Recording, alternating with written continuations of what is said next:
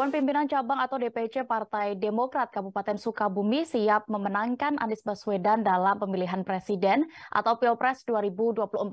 Diketahui Partai Demokrat telah resmi mendeklarasikan Anies Baswedan sebagai calon presiden atau capres di Pilpres 2024 mendatang. Ketua DPC Demokrat Sukabumi, Iman Adi Nugraha pun langsung memerintahkan para kader untuk all out memenangkan mantan Gubernur DKI Jakarta tersebut. Dan untuk informasi lebih detailnya, kami sudah terhubung dengan rekan M. Rizal Jalaluddin, reporter dari Tribun Jabar yang akan menginformasikan. Silakan rekan. Baik, uh, Dea dan juga Tribuners dapat saya sampaikan.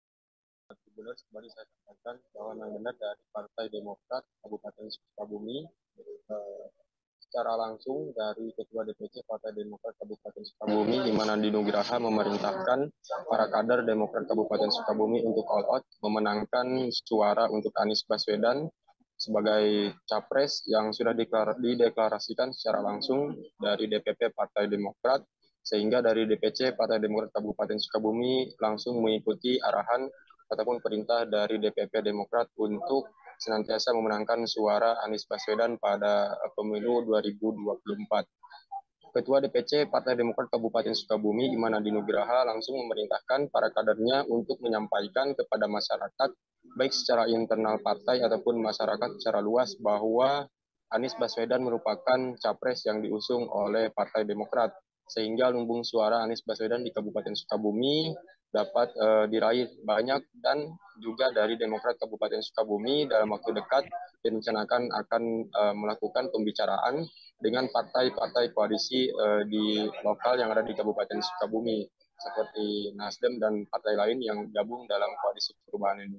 Dan diharapkan juga semua kader setiap uh, melakukan belusukan selalu memunculkan nama Anies Baswedan di masyarakat ataupun disampaikan kepada masyarakat terus-menerus tanpa kenal lelah dan all out supaya raihan suara Anies Baswedan dalam pemilihan uh, capres di pemilu pemilu 2024 di Kabupaten Sukabumi uh, mendapatkan suara yang banyak dan mengalahkan calon-calon lain yang nantinya akan bersaing di pemilu 2024. Demikian, Dea. Yang pertama setelah mendengar dan mengikuti join pres dengan pimpinan Demokrat untuk kesiapan DPC Demokrat dukungan terhadap Pak Anies seperti apa?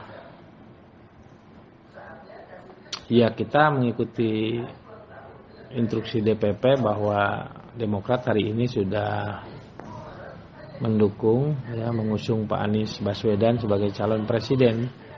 Tentu kita akan sosialisasikan ya baik itu di internal Demokrat maupun ke eksternal ke masyarakat luas bahwa Pak Anies Baswedan ini adalah calon presiden dari Partai Demokrat dengan berbagai kelebihan-kelebihannya.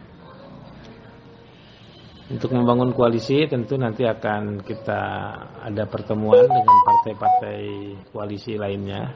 Terima kasih sudah nonton. Jangan lupa like, subscribe, dan share ya. Thank you.